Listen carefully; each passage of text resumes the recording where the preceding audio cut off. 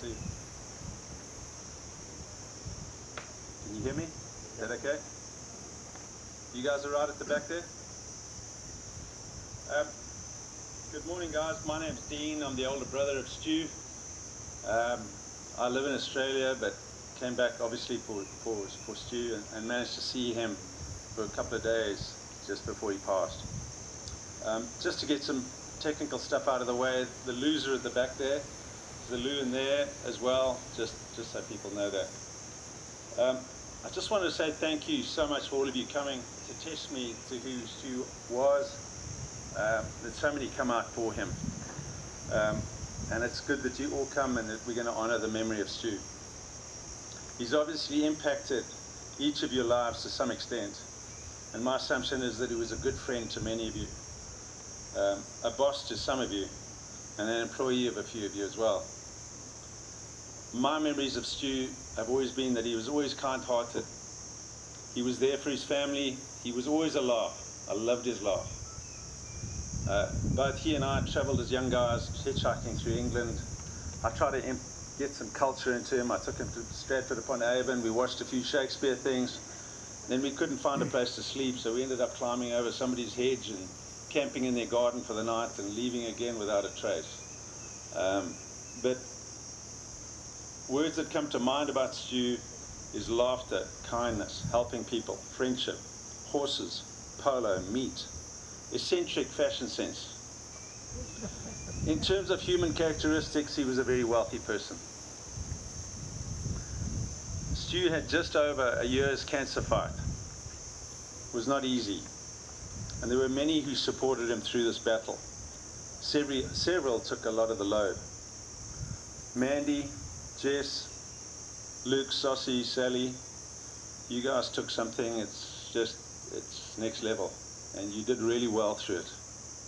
And I just want to congratulate you. It wasn't easy to see that, and that uh, you did really well there. And um, well done. Sonia, you were next level.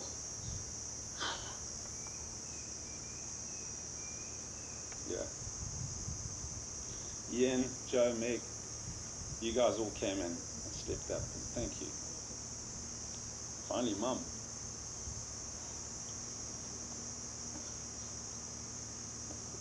Not easy to see your son go. You spend many nights with him. Well done. Thank you. You're a great mom. Peggy, you were great at sorting out all the legal and the police stuff.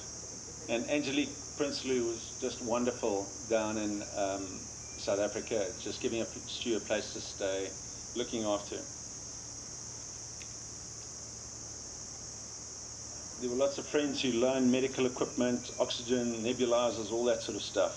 Um, as I think of Stu in um, this environment of grief and to some extent loss and remembrance, three words come to mind for Stu for me. The one is family, the next is friendship, and the final one, which I'm going to deal with, is faith.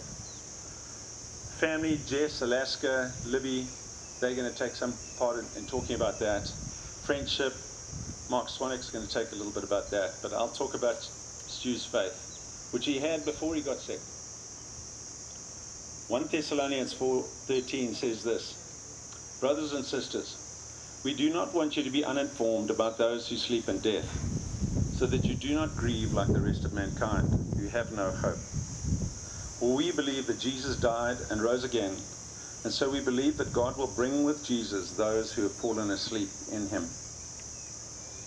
A couple of years back, I was at UWA University, and I was at a euthanasia conference. Um, it was just a one day, and I met a couple of people there, and one of the guys I met was a guy called Professor Doug Bridges. And he was a palliative care professor at UWA. And my son and I, we, we had this thing, but we wanted to go and see. I said to him, son, you need to go along uh, to this, because I want you to see what people care about when they die. And the argument was, was when you see what people care about when they die, don't lose that.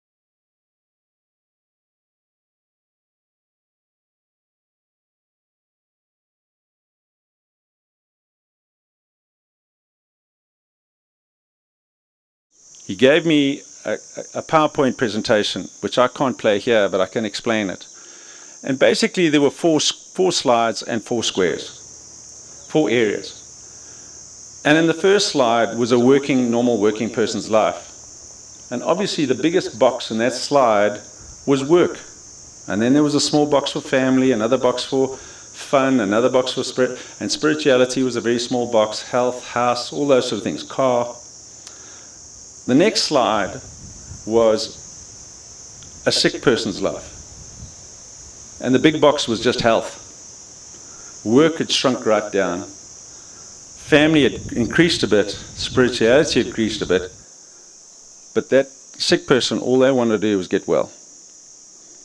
The next slide was a dying person's life. And there were just two boxes. Everything else had shrunk away. And the biggest box, the biggest box was family, and the next box was spirituality. And so my question is, I, I took this, and I, I work in prisons back in, in Australia, and I say to them, I show them these two boxes, and I say, guys, if this is what's going to count at the end of your life, why would it not count now? It doesn't make sense. And for Stu, he had a faith. And I chatted to him a bit about it and he actually said those two boxes. He said, Dean, look, I'm kind of okay where I'm going, but it's my family. It's my family. It's my family. And that's what he cared about, is you guys. He looked at, and that was what his, what broke him most about going, was you guys. Okay. And so, what is this faith that, that Stu had? And in today's world, we've got quite a religious worldview. uh, some of us may have, some of us may have an atheistic worldview, whatever. But for the religious people, quite often it's a, what we call a merit based view. In other words, if I'm a good person and I do the right thing and I do this and I do that, then God will one day look at me, weigh me in the scales, and say, Yep, you make it. And He'll say to somebody else, Nope, that you just fell short. Sorry, you don't make it. And that's kind of the way that religious system works. All right, but a contrary to this story is the thieves on the cross. According to the Bible, there were Jesus was hanging on the cross, and there were two thieves hanging either side of him, all sentenced, both sentenced to death. And the one thief mocked Jesus and said, Why don't you, you're supposed to be the Son of God, why don't you get me down off this cross? And the other thief turned, to the, turned and said, But hold on, we deserve to die. We know what we've done, we deserve to die. This man doesn't deserve to die. And then he turned to Jesus and he said, Lord, remember me when you get to paradise.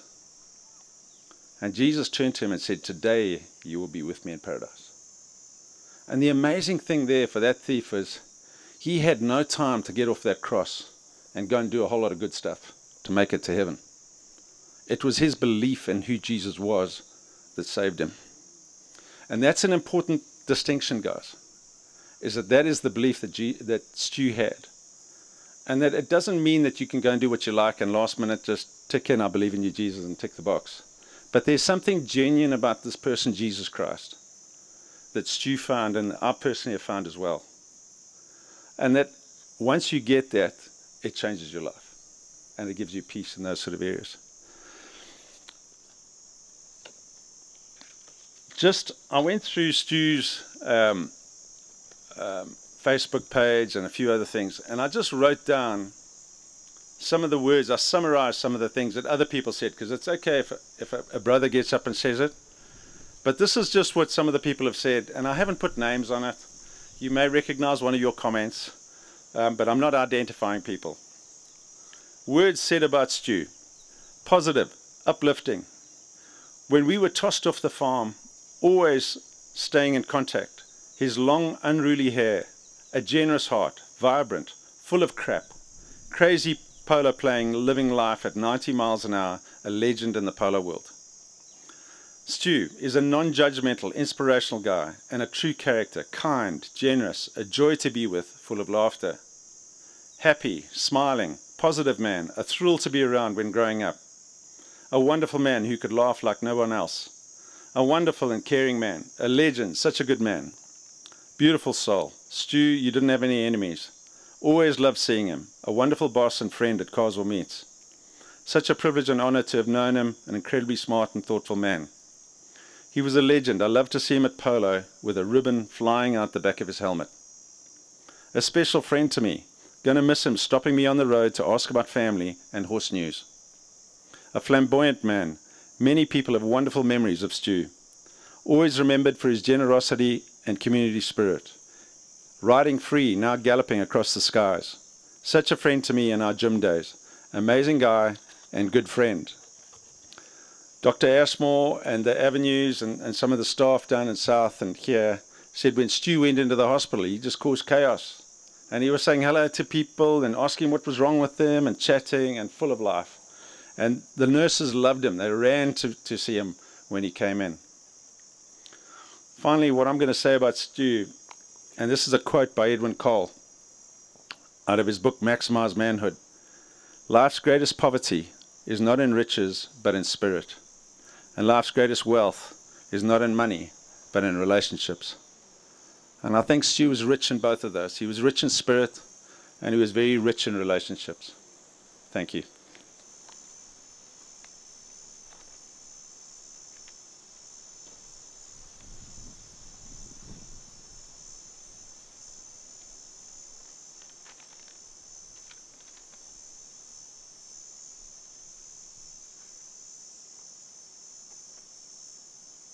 Um, there's a song that's going to be played now. It's one of Stu asked for this to be played. It's called Oceans by a crowd called Hillsong. If you guys could play that. And then after that, um, Mark Swanek is going to come up and give the eulogy.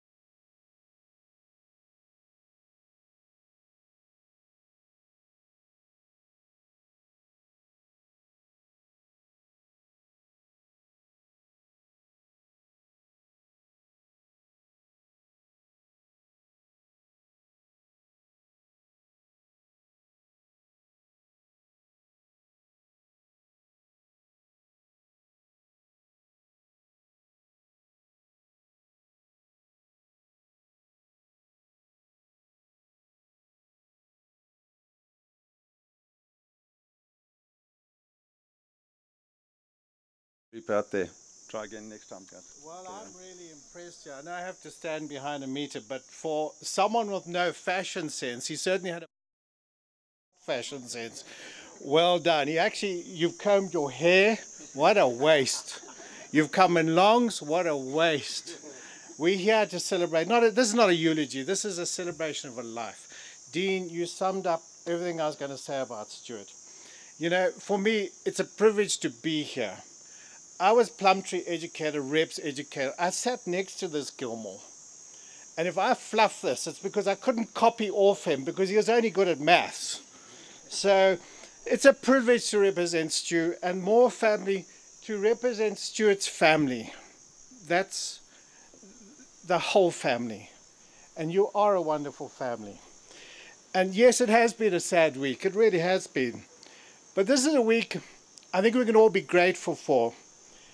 When Stu stopped fighting, which was last weekend, he was taken by God by Monday.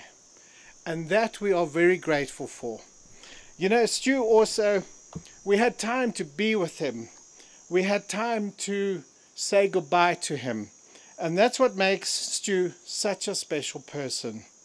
You know, he showed us how to fight for life. And he gave us all a chance to say goodbye. That was awesome. Stu, we all know the Gilmour family. Stu was such a part of a, an amazing family. And over the years, farming families um, is a product like so many of us here today who are, are from products of farming families. And, and the life in them. Stu carried that upbringing with him all through his life. And sharing our similar backgrounds, he was great, full of laughter. Haven't we heard that already? The ability to connect with so many people and different people over the years. And I think that's who we all represent here for Stu. So, Stu, you're looking down on us wherever you are. That's why we're here, because you were the one who brought us together individually, not in big crowds. Stu was amazing like that. You know, um, we started our friendship at reps. We were this big. He had really particularly big ears, which he was always very conscious of. But we were six, seven years old at reps. And we would sit. I can even remember where we sat. It was on the rocks by the swimming pool or at the back of reps. And we would talk, like everyone's been saying. Talk about us and our family. You know, that was a little guy. And he he was never changed. Um, Stu made you feel important. And that's an art. And it's something we can take from him.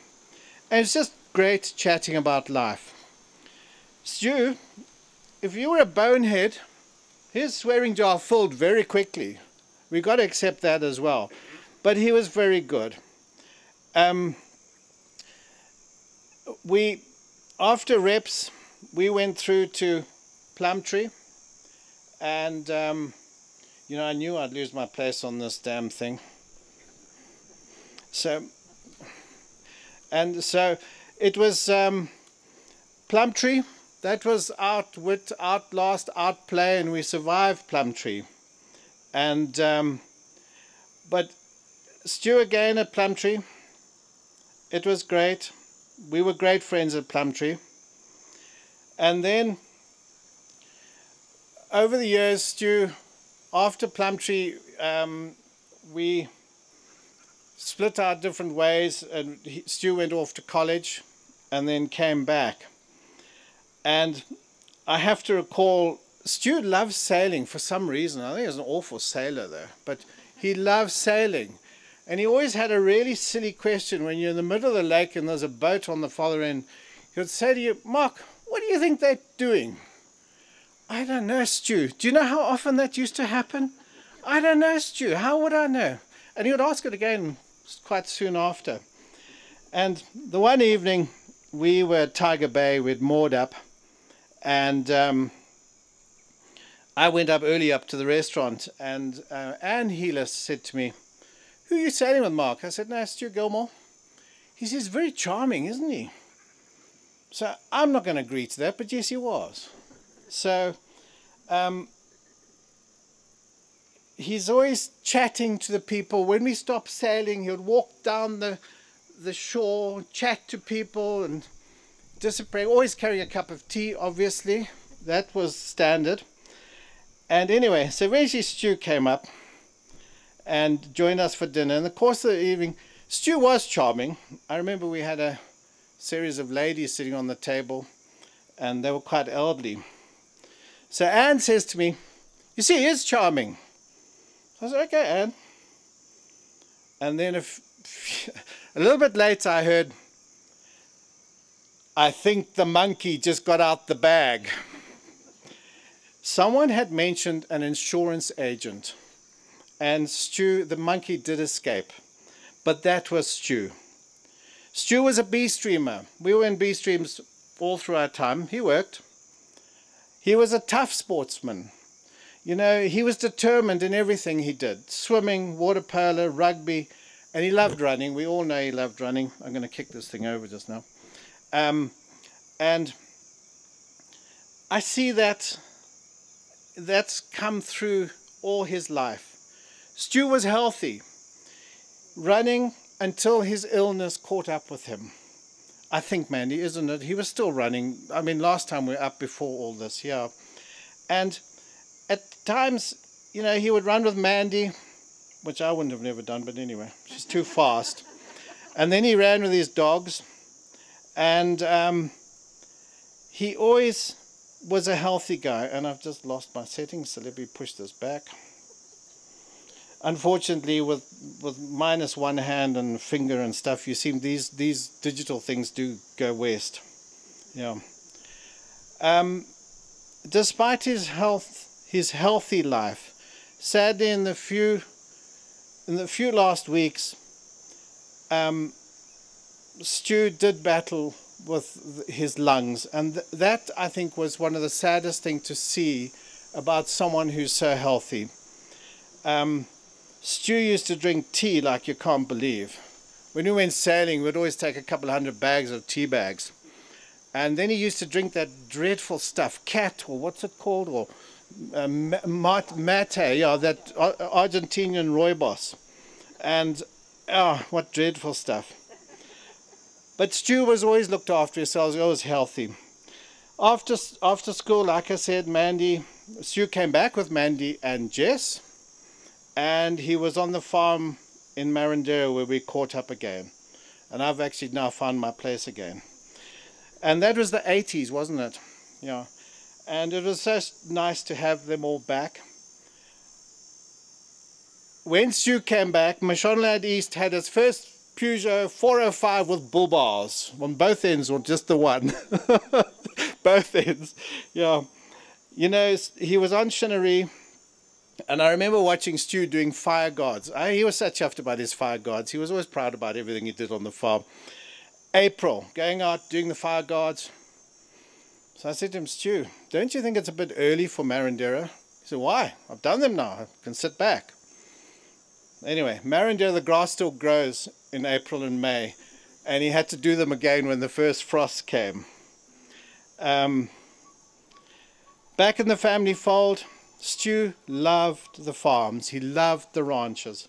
He was a home bird. We couldn't get him to do anything really, could we, Mandy? He was difficult. You booked all the holidays because he wouldn't do it. And he loved the life he was born into. And that was always such an interesting thing to watch. Cattle, dogs, and family. And I'm not putting it in any special order because that might be the right way it should have been. You know, it depends where you were with Stu. Um, Paco Hills was next, and we were all this side of the country. And Luke, you'd arrived by then on Paco Hills.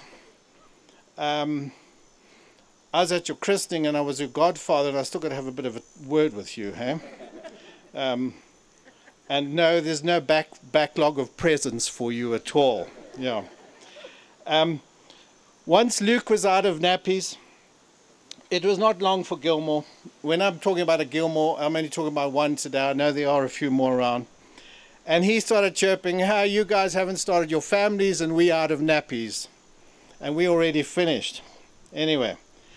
So it was cattle, cars with bull bars. made furniture. Do you remember that chunky, chunky furniture you used to make? And always a beautiful garden, but that was you, Mandy. And that was home to the Gilmours on Paco, Paco Hills. Anyway, nappy days were not over. As it turned out, beautiful Alaska arrived. Same age as our youngest son, and brought much joy to Stu and Mandy. Um, I'm sure, Alaska, you're listening to us now, and this is all about the family and all of you together. Mandy, you always had amazing gardens. Obviously, you inherited it. You always had amazing gardens. Lovely homes, and Stu was always proud of them. You know, it was amazing. Even though he used to complain about the labor and all the equipment you used to take, he loved them. He was proud of his homes, and you know that that was great. Trying to get away, as I say, except for sailing. I don't know why he liked sailing. He used to sit there for seven days and do nothing. I think that's probably why. It was always such a mission. After Paco Hills, kids grew as they tend to, and the expansion of the family business, and then you moved your home to Carswell, another lovely home you guys created. And so polo tournament, tournaments, toddlers, nannies, horses, that was our lives, wasn't it? Stu was in his element being social and chatting at the tournaments. I know there are quite a few polo players here. I never really figured out if Stu really enjoyed his polo. You know, he always came away bruised and broken. His horses were okay. But he definitely loved being among like-minded people. Proud of his trailers and loved building his trailers to suit his polo. Stu loved his trucking, mechanical side of the business. He was always making, improving vehicles, and the workshops were very much part of business. Both my sons are mechanical, and when we've been sailing, Luke, we went sailing one trip, didn't we? And when my sons came sailing with Stu, when the conversation dropped, you just you just said something about a truck, and then we were off again. We spent days talking about mechanical stuff, which I have no interest in. Stu was gentle. He was straight down the line. He didn't hesitate to correct you. Sitting in Ian's house the other day while Stu was battling to breathe, I saw how Stu touched people's lives, which is something actually we will never see because we can't see the whole picture of Stu. Um, Stu represented so much the mix of his parents, the business and the kindness of his parents and his upbringing. I was sitting there and Eric, I don't know if Eric's here today, but if you are Eric, I'm sharing your story. And Eric came in and worked for Stu for some, for, since he was a, de, a delinquent. Uh, sorry, when? Yeah, 18. And in the marketing side. And Stu's sitting there with his mask, putting it on, putting it on. And he says me, points at Eric, and he says, We bought him a house, you know. And so I thought, oh, wow, okay. Look, I can never under, untangle the Gilmour Empire. I don't know who I, we, us stands for. I just, we just know it's, it's someone, okay. So Eric looked up and he said, yeah, no, he bought a house. But I went without pay for six years.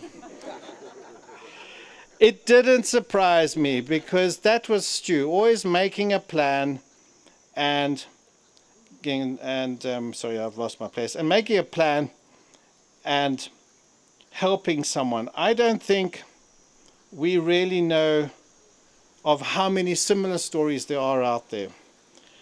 Stu loved his family. Mandy, together you and Stu, like so many of us, have brought our families through three lifetimes of cuck in this country. You know, he would phone me and I would see his number ringing. And Stu had the most incredible knack, and Dean again has said it when he phones guys and people commenting, of phoning me when I needed someone to phone me. He was amazing like that. I always thought it was God telling to phone me, so God found his donkey in Stu to phone me. And, you know, Stu was he would phone and ask about the family and then would I'd catch up on all of you guys one by one and it was great. Um, if I have to attach a word to Stu, and don't worry, Robin, you can. It's going to be a safe one. I will always attach the words "well done" to Stu Gilmour. You know, those are powerful words, and so represented a kind and caring per- person Stu was when you deserved it. Mandy, you've got a big hole in your life now. And now it's my turn to say to you, well done. Well done. The past year has been difficult with Stu. He wasn't the easiest guy, we all know that. I listened to your meeting, Mandy, with Stu, the doctor in Joburg, and I heard a strong, independent, to the point wife. I was so impressed the way you handled that difficult discussion. Mandy, well done. It was well done. The independence and the strength that, that got you through this year will get you through the years in, in, ahead of us. Jess, Luke, Alaska, Dad was always proud of you. You know, Jess, you had a special relationship with the old man. I see your dad in you. And don't lose that and keep that spirit alive. Other people's opinions were not really important to you and not to you either. Keep it alive. Luke, when we caught up with Dad two weeks ago, just before, you just spent the afternoon with him and you spent time. He was glowing. I have to tell you, he was glowing. I imagine Moses looked like that when he came off Mount Sinai. And Stu was so, he was so proud of you. He kept saying, You're a bright guy. There have been difficult times, but he loved you. And he was just so appreciated that time that you spent with him and you guys just talking. You know the day I'm talking about. And so it's my turn to say, Well done, Luke. Brilliant. Now, Luke, keep to that track that you talked about with your dad to honor him because that is the life ahead. Alaska must be very hard being so far away, and you are after, after all Gilmour and a home bird. Dad loved your recent time here, and our broken hearts and grief are shared with you so far away. Keep his spirit alive in America to see you through life. Finally, Stu loved dreadful music, rock music, I think it was. It just didn't ever make sense to me that he listened to such rubbish for such a nice guy. So I'm going to finish up with Psalm 50. It's written by Asaph, a singer and a worship leader in the time of Solomon and David. Psalm 50 says God does not worry about material things, but is satisfied by worship through thanksgiving and prayer. Stu found that space. And that was amazing for me because that is the prayer of a mother for many years. And it was great talking to Stu about that part of life and the spiritual part. I'm going to read Psalm 50, not too long. It goes like this I will not rebuke you. This is what God's saying, remember. I will not re- rebuke you for your sacrifices or your burnt offerings which are continually before me. I will not take a bull from your house or the goats out of your fold.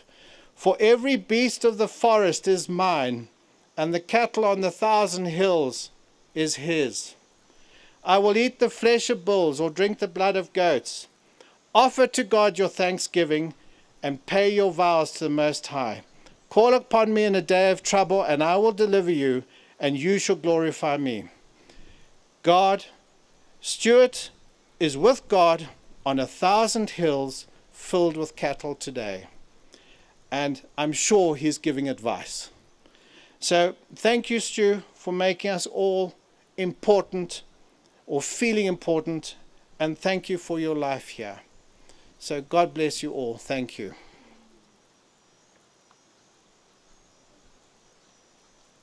Um, I don't know if Chris and uh, Pat, are here. Are they here?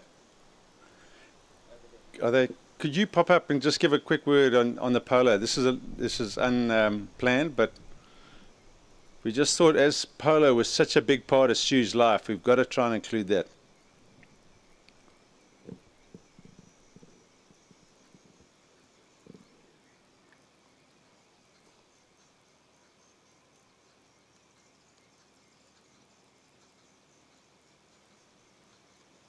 You okay with this? I'm quite short. Please excuse my digital notes because they were written in a hell of a hurry, and I blame Mandy for this. She didn't give me any time. I was told to ask to do this on the way in this morning. So bear with me, please. I look around here and I see many of you here who risked your lives on the polo field with Stu. You can blame Dave Meikle for that. He was the one who got Stu into polo at Banket many, many years ago. I can remember Stu arriving at Banket with two bossy cops in his trailer. From there, he progressed right through to his horses he was so proud of that used to often be chosen by international teams to play. Stu played at Banket for many years, as I said. Unfortunately, because he had a semi-education at Plumtree, he never read the rule book. After a while, he moved to Harare, and he ended up there as the captain of the club. Then from there, he joined Mzari, where he played for many years until he retired several years ago. Stu, as been said right through here today, was a great uh, socializer and a great team man. That's the word I'm looking for, team man. He was a great asset to any club he represented. He was always willing to help, eh, whether it was physically to pick stables or whether it was to do- donate meat for tournaments or whatever it was. He was a great tournament, uh, or at least uh, club man. In 2007, I went with Stu, Mandy, Bob, Sue, and um, who was the other one?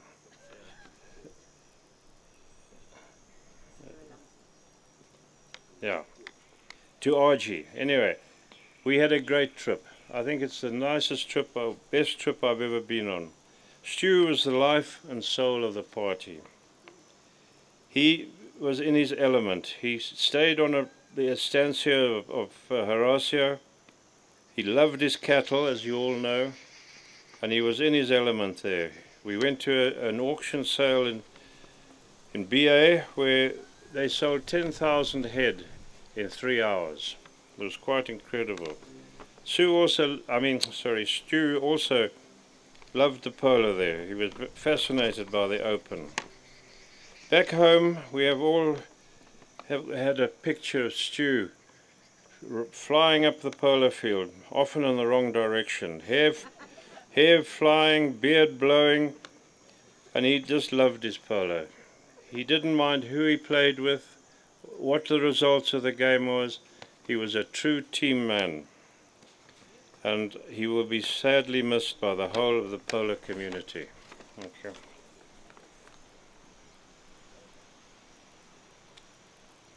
Thank you, Chris. I'm just going to read a few uh, messages that came from people that couldn't make it to the funeral. Um, the first one is Peter Lobel, tribute. Stu, you're going on another trip, which is under God's direction. I just pray it's pain free.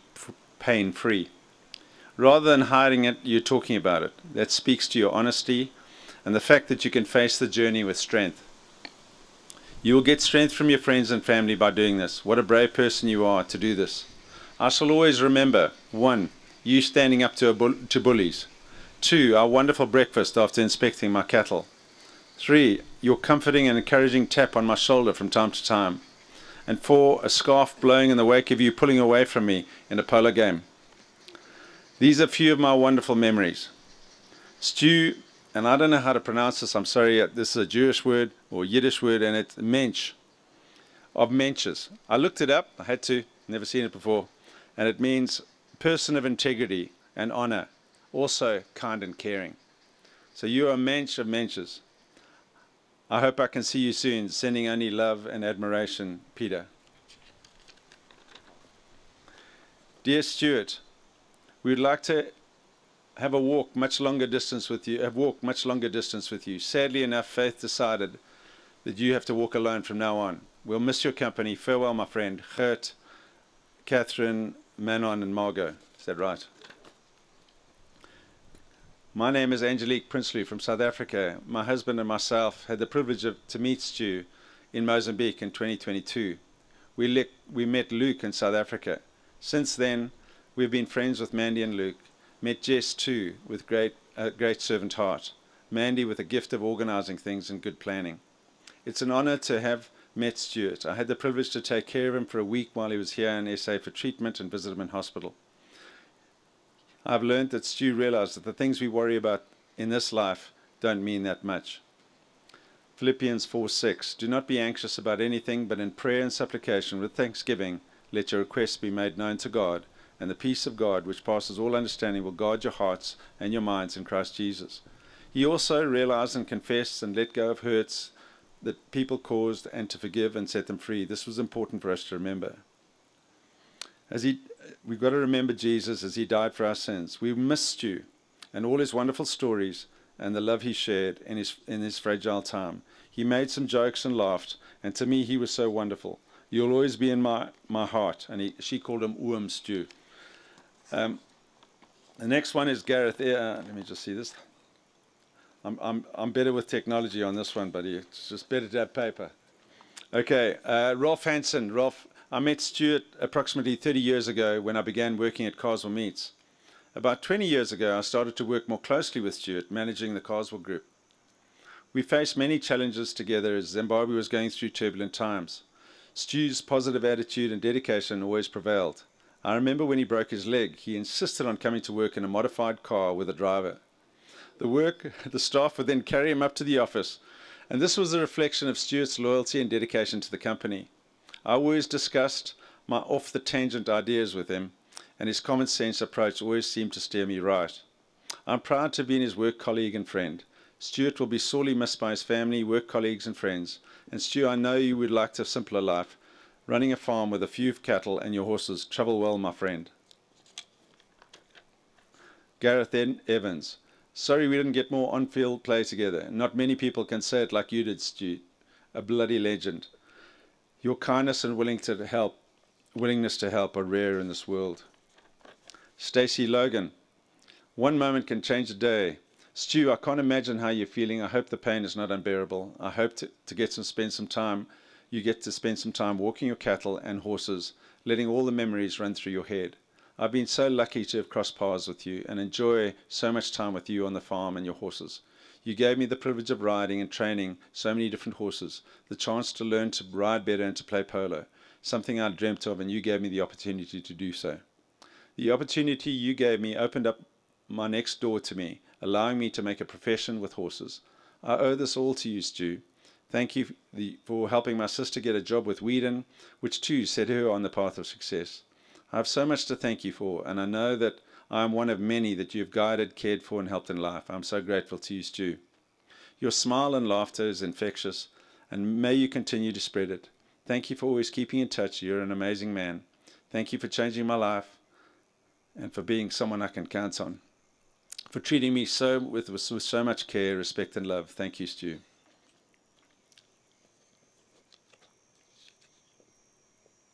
This is Meg and Joe because they didn't want to get up, but fly high, but you were loved by all who crossed your path. You instilled in Joe and me the love of horses, and your glass was always half full, what, no matter what challenges you faced. Your words when Rourke was diagnosed with cancer Stush, life is not fair. The sooner you accept that, the happier you'll be. Have been my mantra. I'm sorry we were just too late to hug you one last time. I love you, Stu. So blessed to have caused, called you my brother.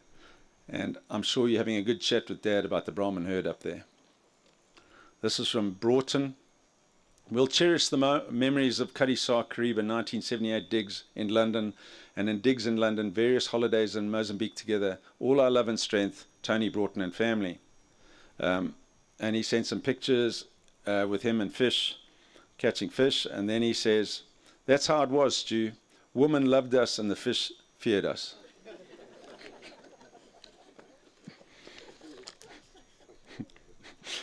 All right. Now we're going to have the family section, and so Libs is going to come up and read a poem.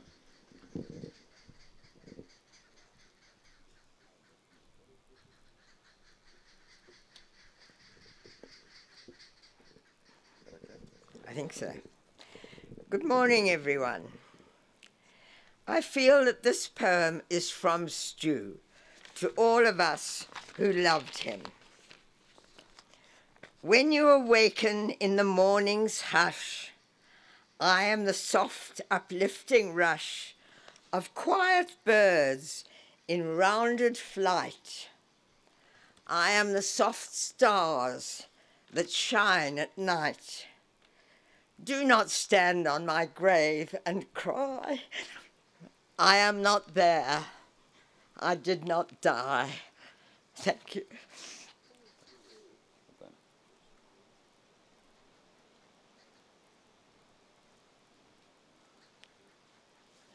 Um, just the sound guys, have you got that clip from Alaska, please? If you could play that.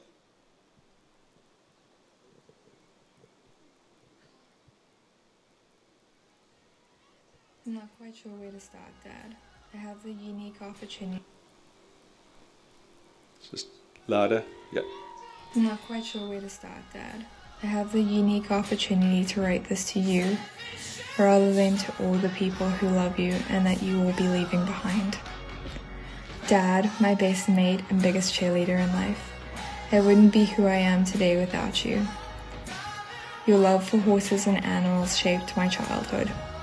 I will be forever grateful that you shared your love of riding with me. Not only the endless hours of fun in and out of the saddle it has given me, but also for the hard lessons it has taught me. Horsemanship is the art of mastering our own movements, thoughts, emotions, and behaviors, not the horses. Listening to your stories of all your travels throughout Europe and across Africa sparked in me a curiosity for the world. You gave me the courage to seek out the path less traveled. One that has led me to America and many great adventures that I had there, which ultimately led me to meeting the love of my life. There's a quote by Charles Dickens that goes Imagine one selected day struck out of your life and think how different its course would have been. Think for a moment of the long chain of iron or gold, of thorns or flowers that would never have bound you, but for the formation of the first link on that memorable day. Dad, you have not only shaped who I've become, but also influenced some of the best decisions I've made in my life. So thank you. If kind words alone could have been the cure for you, Dad, then you would have been saved ten times over. For, for all those that love you have managed to tell you. So as you prepare to leave this world and enter another, you better have a cup of tea waiting for me for when I finally join you. I love you, Dad.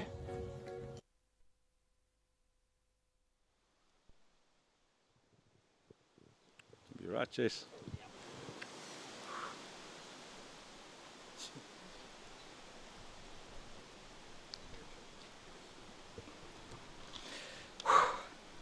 Dad, you were the kindest, most generous person, not just to your family, but to everyone I knew. Many conversations with started with, Hey chap, how can I help? And ended with, No problem, I'll see what I can do. That was you in a nutshell, Dad. Always ready to help, always ready to give advice. And that's this is a quality that you instilled in all three kids. You always used to say to us, no one wants to hear your problems, so don't start sprouting them now. My dad was always happy, always, but never more than on the polo field. He adored the game and the people. His one piece of sage advice to me if Robbie Meikle takes a full swing, you duck, no matter what. Dad loved his animals, his horses, his dogs, his cattle, even a bird or two. I could talk forever about what a good man he was, but everyone knows that. I could never have asked for a better dad. So thank you for always having our backs, for, for never leaving our sides, and for never ending a conversation without the words, I love you, my girl. Wherever you are today, Dad, and I'm sure it's not far, may you be on a horse with a dog by your side and a cup of tea in hand. I love you, Dad.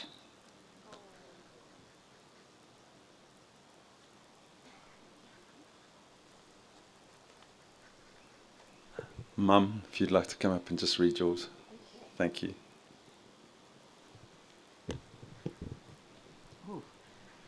Look, everything's been said. All I can say is you gave out love freely and it came back abundantly. And I have had the most precious times with you. You gave Polo, your Polo gave you so much joy and you ga- have so many dear friends. And when I asked him one evening just before he died, I said, What was the highlight of your life, Dean? At least Stu. Sorry, I've got so many of them. Um, and, and he said, Mum, my polo. I loved my polo. And so thank you, all of you, for giving him so much love and so much joy. And if I end, and I want to say thank you to Sonia and Ian, who've been amazing, and to my two girls and to Dean. I'm very lucky to have five, aren't I? So to say goodbye to Stu is hard, but he left me to. All I'll remember of him is saying, as a little boy, How are you, my boy? I'm fine. And he was fine right through life. And also, he said, Life is not fair, and you must have your cup full. Thank you. Um, he just asked for that hymn, uh, Worthy is Your Name. And we'll just meditate on Stu, just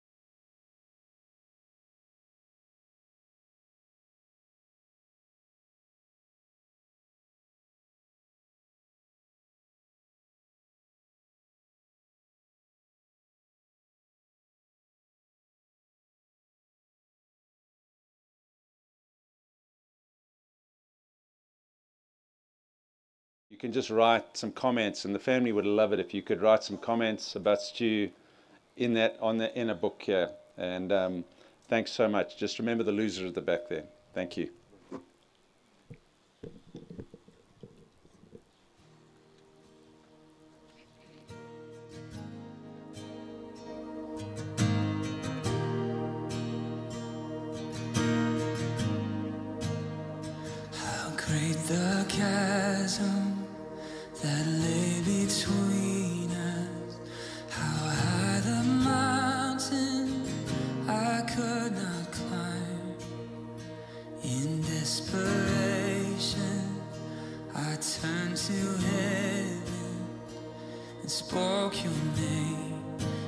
through the night, then through.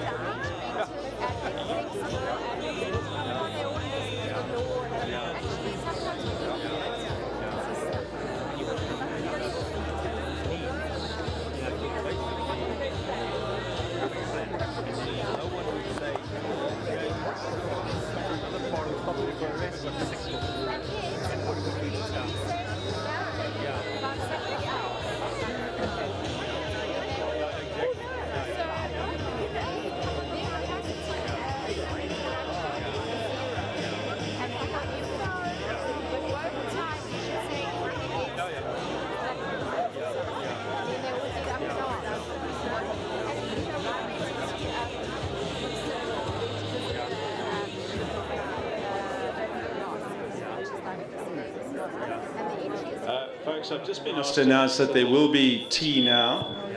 Uh, it'll be followed by a, a, lunch. Tea and cakes now, just on the right here, or to my right, your left. And then there'll be uh, a, a light lunch served after that.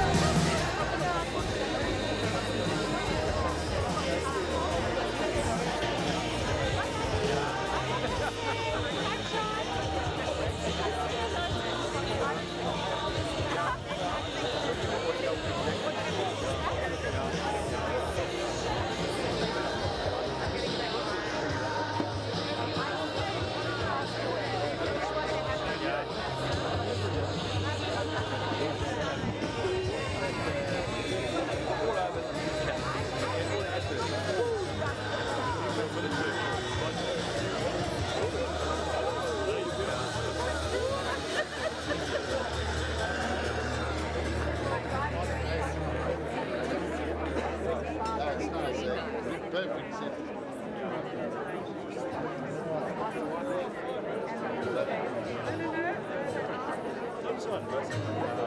you.